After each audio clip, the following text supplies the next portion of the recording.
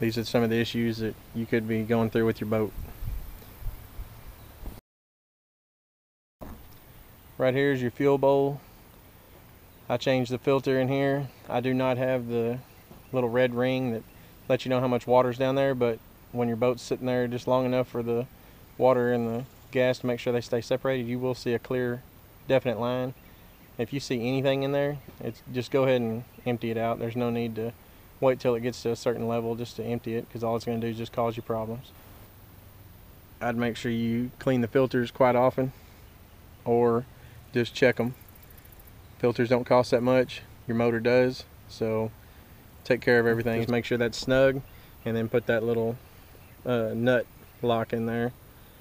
That little metal piece, make sure it doesn't come loose because you don't want nothing like that happening while you're going down the lake. If you're watching this video on how to change the fuel bowl filter, you need to also see my other video on the VST filter and the O2 sensor cleaning and where to get to that on a Yamaha OX66. This video is help you work on your maintenance of your fuel system due to the what the ethanol does to it. It's not like alcohol. Ethanol attracts as opposed to uh, alcohol helps you burn it off. So along with ethanol, if you run premium, it has about 4% ethanol.